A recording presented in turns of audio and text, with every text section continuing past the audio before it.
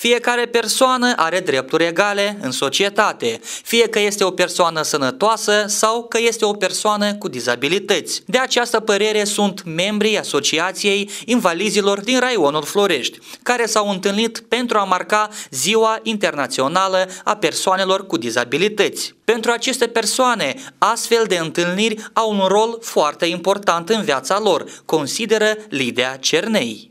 E o întâlnire sufletească, uită toate nevoile care le au acasă. Când ne chemăm, e foarte bucuroși. Ei dinainte, până a invita, ei pe noi veneau și tot ne întreba când, când ați fie.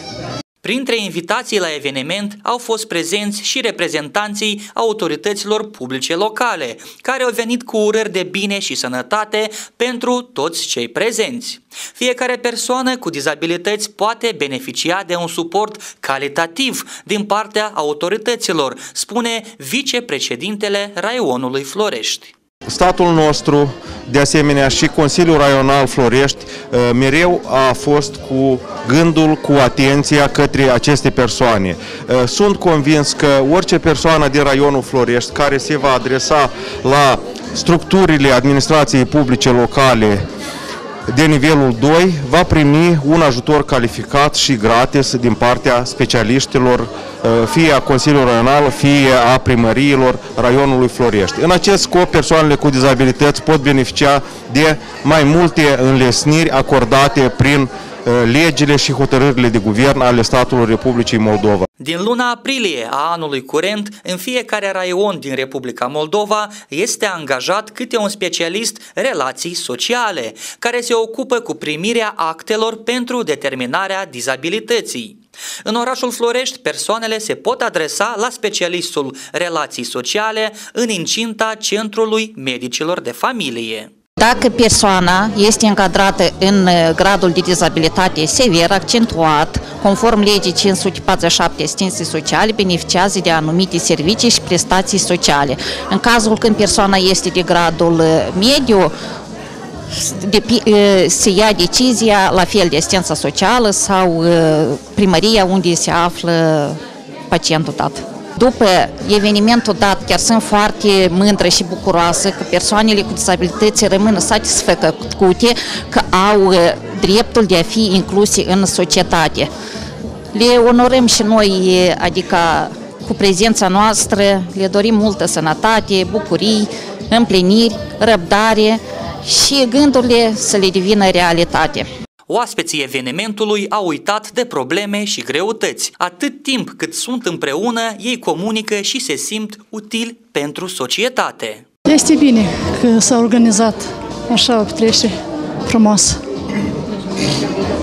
cu oamenii invalizi.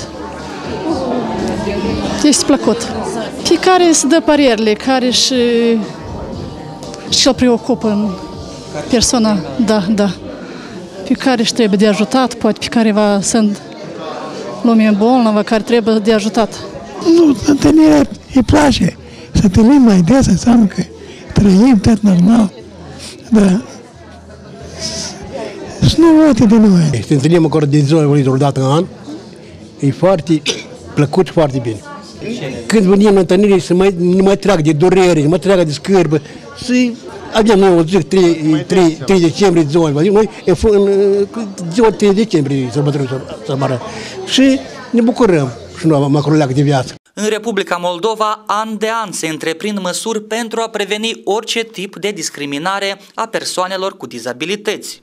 Aceste persoane trebuie să se simtă ca parte a societății, consideră Efrosinea Parasii. Persoanele invalide sunt cetățeni a Republicii Moldova, sunt oameni cum suntem fiecare din noi și am eu o frază care de obicei e de serviciu la fiecare întâlnire, spun că sunteți puțin mai diferiți ca ceilalți, zâmbiți puțin mai diferit.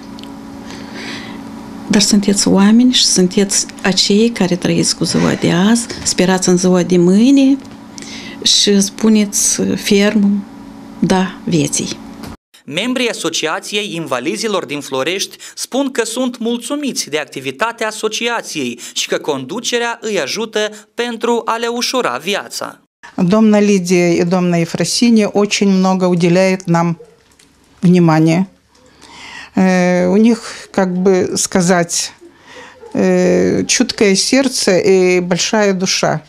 După partea festivă, cei prezenți au fost invitați la o masă de sărbătoare. Evenimentul a continuat cu muzică și dansuri. Conducerea Asociației Invalizilor a venit cu diplome de mulțumire pentru autoritățile locale și pentru membrii asociației. Peste 400 de membri fac parte din Asociația Invalizilor Florești, 60 dintre care au avut posibilitatea de a participa la eveniment.